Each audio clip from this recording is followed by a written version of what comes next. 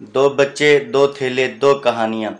जो लोग इतराज़ करते हैं कि हमारे माँ बाप ने हमारे लिए क्या किया, उनको चाहिए वो इस तस्वीर में मौजूद दो थैले बदल कर देख ले। उन पर वाज हो जाएगा कि उनके लिए उनके माँ बाप ने क्या किया। अस्सलाम